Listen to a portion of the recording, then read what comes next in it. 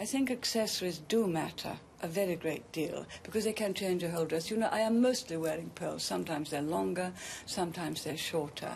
Um, I wear them not only because pearls have been the thing for English women for years, but they have a sort of luminescence about them, and particularly pearl earrings, and they do just give your face a little lift. Eyes, hair, mouth, figure, dress, voice, style,